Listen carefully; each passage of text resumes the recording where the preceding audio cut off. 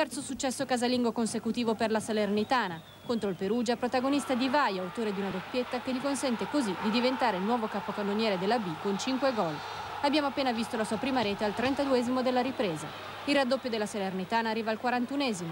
Di Vaio si gira bene in area e batte il portiere del Perugia, Kocic.